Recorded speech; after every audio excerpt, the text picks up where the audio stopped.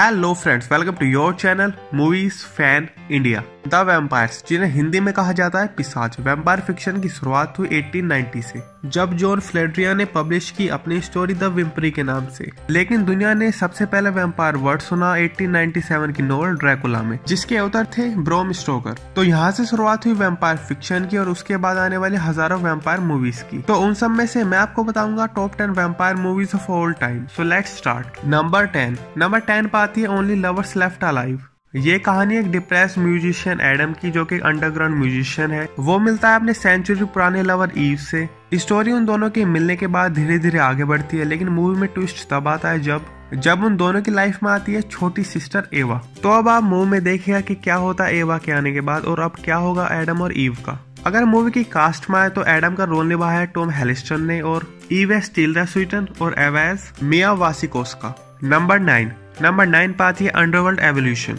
Underworld evolution 2006 में आई हुई underworld series की दूसरी मूवी है। अंडरवर्ल्ड सीरीज़ में है पाँच मूवीज़ जो है underworld underworld evolution underworld rise of the lycans underworld awakening और underworld blood wars underworld evolution को देखने से पहले आपको देखनी पड़ेगी अंडरवर्ल्ड का पहला पार्ट तभी आपको अंडरवर्ल्ड एवोल्यूशन मूवी समझ में आएगी। मूवी की शुरुआत होती है डायरेक्ट पहली फ़िल्म से, जहाँ पर वैम्पायर सलीन और वेयरवुल्फ माइकल छुप रहे हैं वैम्पायर से। अंडरवर्ल्ड एवोल्यूशन में आप आगे जानेंगे एनिशियंट हिस्ट्री वैम्पायर्स और वेयरवुल्फ की। नंबर एट नंबर एट पर आती है ट्वेलाइट ट्वेलाइट एक लव स्टोरी है बेला और एडवर्ड की, जिसमें एडवर्ड एक वैम्पायर है और बेला है एक इंसान।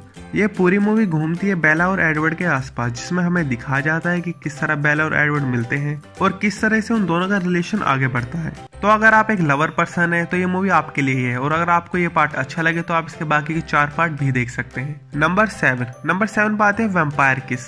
वेम्पायर किस है हमारी इस लिस्ट में सबसे पुरानी मूवी मूवी आई थी 1989 में। ये मूवी एक पब्लिशिंग एक्सिक्यूटिव के बारे में, जिसका नाम है पीटर और मूवी में पीटर का रोल निभाया निकोल्स केज ने। तो पीटर को नेक पे काट लेती है एक औरत, जिसके बाद धीरे धीरे पीटर का बिहेवियर चेंज होने लगता है। वो थोड़ा पागल सा होने लगता है। वो डिप्रेस फील करता है और भी बहुत कुछ होता है पीटर के साथ। तो अब आगे की स्टोरी मुँह में देखेगा कि किस तरह वेम्पायर में चेंज होता है Peter number six number six पर आते हैं thirteen days of night movie की शुरुआत होती है एक ऐसे शहर से जहाँ पर हर साल एक महीने के लिए सूरज नहीं उगता है। तो उस एक महीने के पहले दिन शुरू होती है मूवी की स्टोरी जहाँ पर शहर पर अटैक कर दिया है।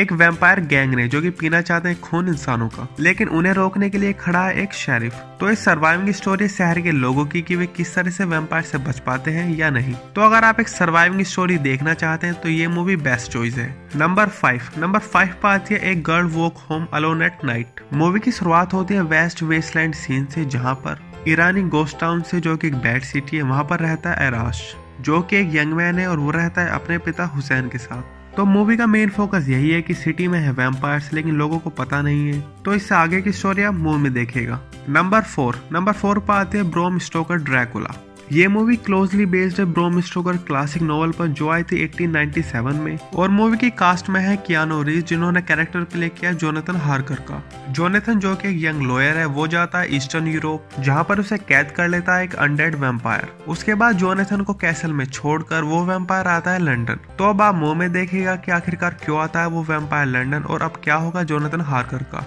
नंबर थ्री नंबर थ्री पर आती है इंटरव्यू विद द वेम्पायर आप मूवी के नाम से ही समझ सकते हैं कि मूवी में एक ऐसी सिचुएशन होगी जहाँ पर एक वैम्पायर इंटरव्यू में बताता है अपनी लाइफ की स्टोरी जिसमें इंक्लूड है लव बिट्रेयल लोनलीनेस और हंगर मूवी की शुरुआत है 1791 जहाँ पर लुइस जिसके अंदर जीने की इच्छा खत्म हो चुकी है और उसे काट लेता है एक वैम्पायर जिसके कुछ समय बाद वो भी बन जाता है एक वैम्पायर लेकिन वैम्पायर बनने के बावजूद भी वो इंसानों को नहीं मार पाता। नंबर टू नंबर टू पाते let the right one in let the right one in कहानी एक बारह साल के लड़के की जो रहता है अपनी मदर के साथ। उनके साइड में आते हैं उनके नए नेबर्स जिसमें है एक मिस्टीरियस लड़की मूडी इली तो मूवी आगे बढ़ती है लड़के ओस्कर और इली के रिलेशनशिप से। मूवी तब बदलती है जब ओस्कर को पता चलता है कि इली एक वेम्पायर है। तो अब आप मुँह में देखेगा कि इली के बारे में जानने के बाद उसकी और ओस्कर की दोस्ती पर क्या फ़र्क पड़ता है। नंबर वन नंबर वन पाती है Abraham Lincoln the vampire hunter जैसा हम सब जानते हैं कि अब्राहम लिंकन थे सोलवे प्रेसिडेंट अमेरिका के।